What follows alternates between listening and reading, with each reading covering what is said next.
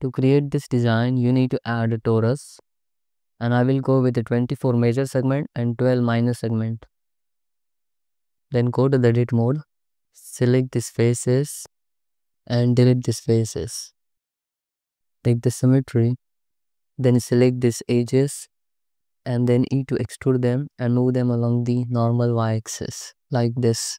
Then select everything, mesh and symmetrize, take the symmetry. Then select this edge loop and press F to fill the gap.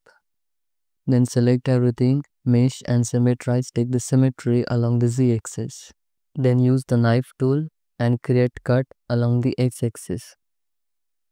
Then select these faces and delete them. Then select this edge loop and press F to fill the gap.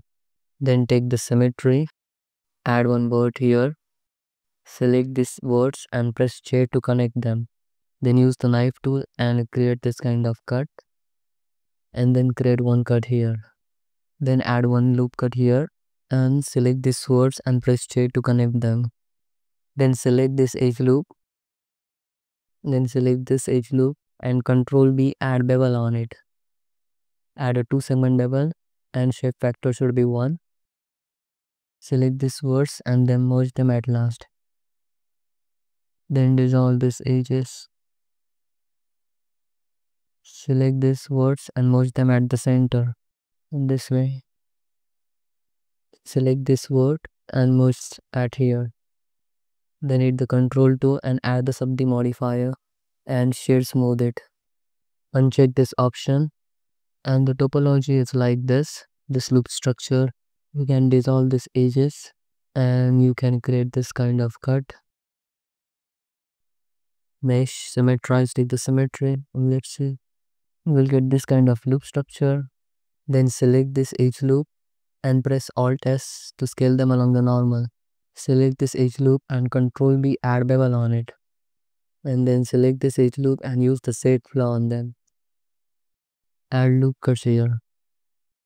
Select this edge loop and press F to fill the gap. Then use the inset operation and use the inset operation one more time. Select this edge loop and Control B add bevel on it. Add one segment bevel then select this edge loops and control B add bevel on them.